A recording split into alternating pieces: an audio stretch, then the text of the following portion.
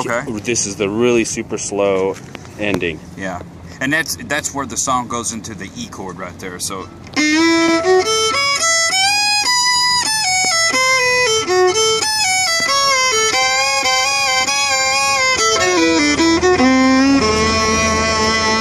back to your A. So let me do it again.